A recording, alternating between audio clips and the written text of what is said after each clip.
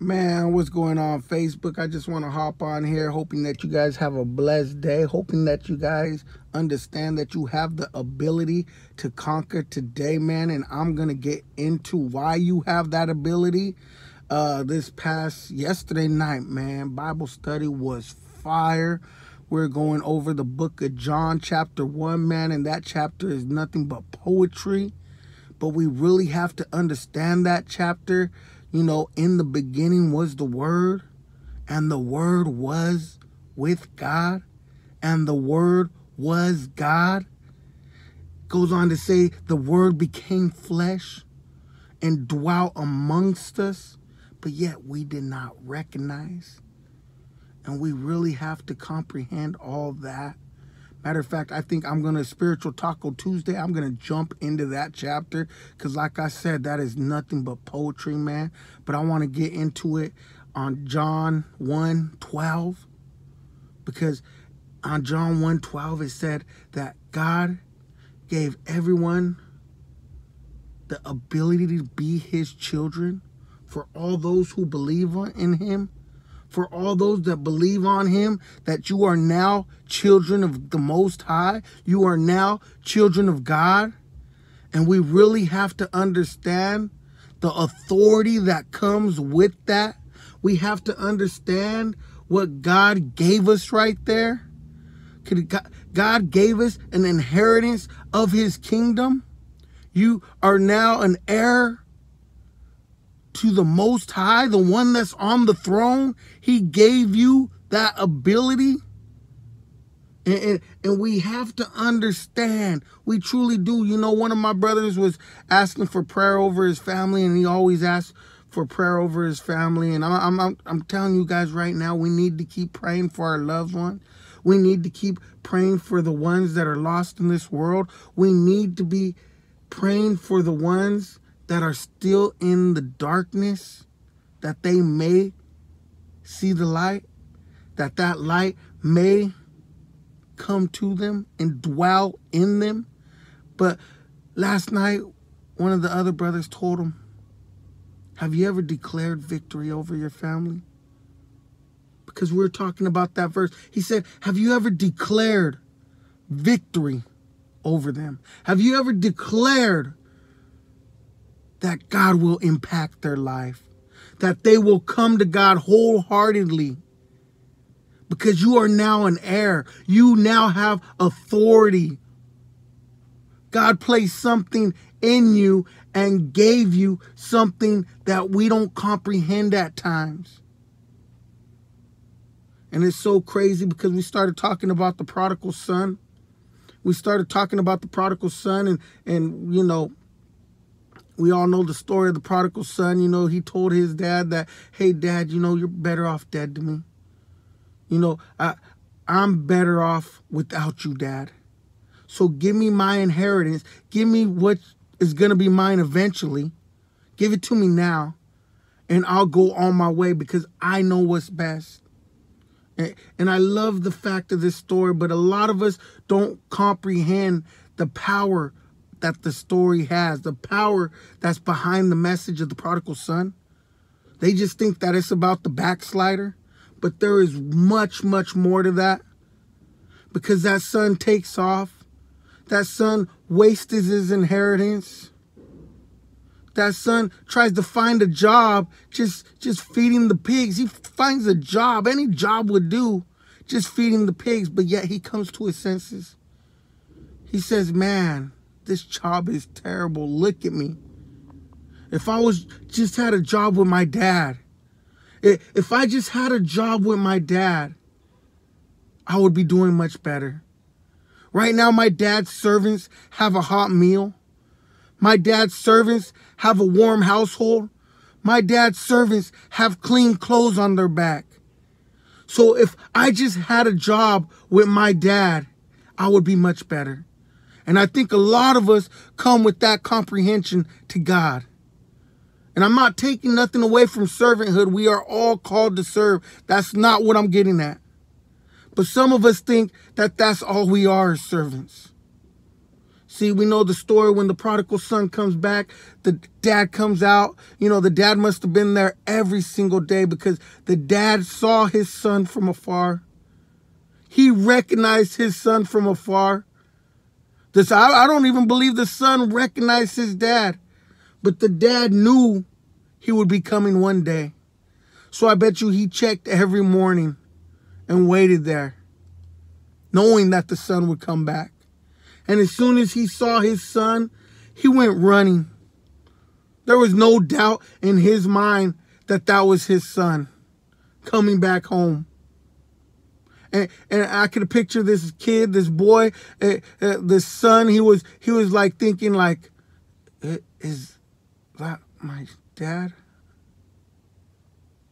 As he's looking from afar. And, and he's prepared to tell his dad, look, dad, I want a job. I want to work for you, Dad. I was wrong. I tried to work for other people. It didn't work, but I want to come back and work for you. And a lot of us come with that comprehension. I'm going to let you know where I know for a fact that a lot of us got that comprehension. But as soon as the dad met up with them, he hugged them, he embraced them, he clothed them. He put a ring on his finger. He told his workers to go get the fattest calf because today we are throwing a feast. The son didn't know what to do. Matter of fact, the son had his own plan in mind, and he's like, "Wait, hold on. This this is a little bit better. Let's see where this goes."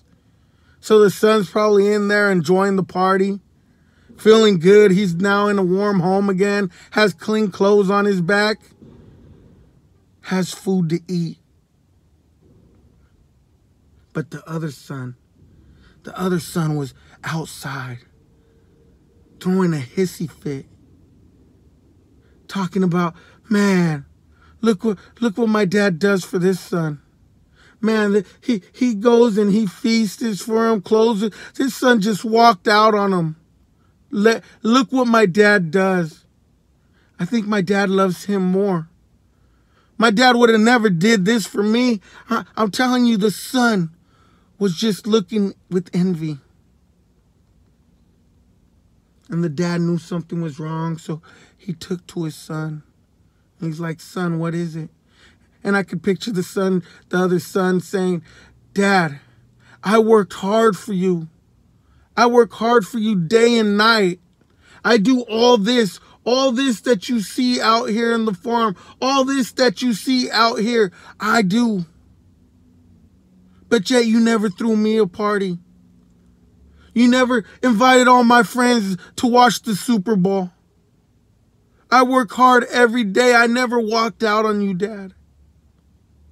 And this is how I know sometimes we keep that servant mentality, that that's all we are in the kingdom. Because the son's telling them that I serve you. I serve you every day and, and I never get anything from it. That's how I know a lot of us never unlock the power that is unleashed in us, that was inherited by us. We never unleash it. Because the dad turns to him and he says, Look, you see all this? This has always been yours. It never left you. It never left you. He's saying right there, you've always had this authority. See, this authority was taken away from the son. The son walked away. The prodigal son walked away. So he had the power released from him. He had no power out there in the world.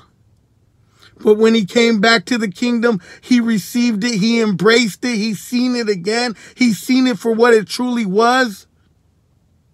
But a lot of us live in the kingdom like that other son. We're living with that authority. We're living with that power, but we never release it because we don't comprehend.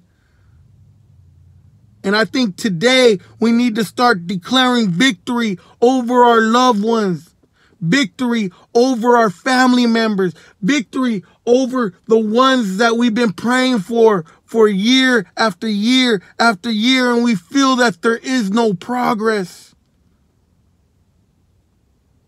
Today is the day that you start declaring victory in the name of Jesus.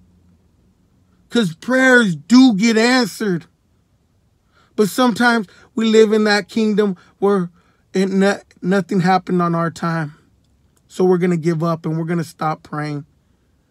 Never stop praying. When I first started preaching, when I first started teaching, when I first started talking about God because God changed me and I started recognizing the power that He gave me, the authority He gave me. My wife came to me and she's like, You don't know how long I prayed for this. And she's talking about when we were in high school. She's talking about when we had our firstborn. She's talking about when we had our secondborn. She's talking about through the drug addictions. She's talking about through the gang life. She's talking about when we had our thirdborn. She continuously prayed. And I didn't come to God till about 20 years later. But she never gave up. And that's the one thing we have to understand.